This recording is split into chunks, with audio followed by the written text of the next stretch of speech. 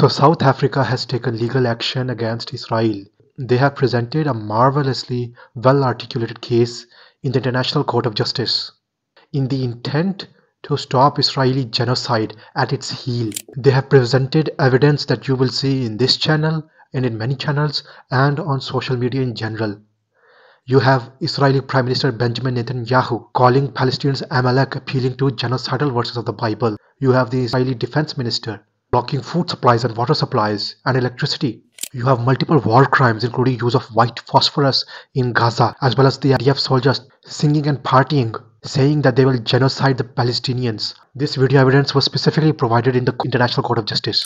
You have Israeli civilians who in a poll 60% of them have said that Israel is not using enough force against Gaza even though they have been bombarded with enough missiles to be equivalent to three nuclear bombs used in Hiroshima and Nagasaki. Everyone in Israel and everyone in the Jewish community in general, from politicians to journalists, from celebrities to civilians, all of them have expressed a genocidal intent as well as on the ground evidence with Israeli soldiers making TikToks and social media posts celebrating the death of innocent civilians. Israeli soldiers on social media posting themselves celebrating the destruction of residential blocks in Gaza as they drink tea and shisha.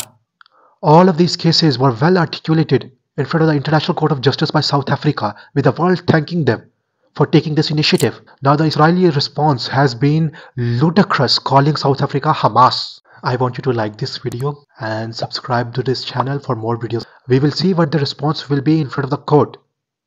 Historically, they have rejected appearing in front of the international courts, calling them biased and unfair. So we will see what they will present in front of the court. All of these atrocities after October the 7th, along with the fact that before October the 7th, for 60 years Gaza has been blockaded, with its airways and seas blockaded, completely isolated from the rest of the world, with its civilians put on a starvation diet, not letting chocolate and chicks enter into Gaza, with ludicrous excuses that, that this is for security of the Israeli civilians.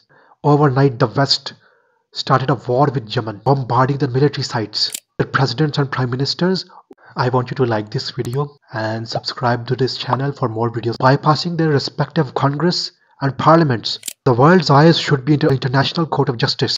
If the judges rule fairly, then they will stop the genocide of Palestinians. Otherwise, it will be the end of rule of law and order.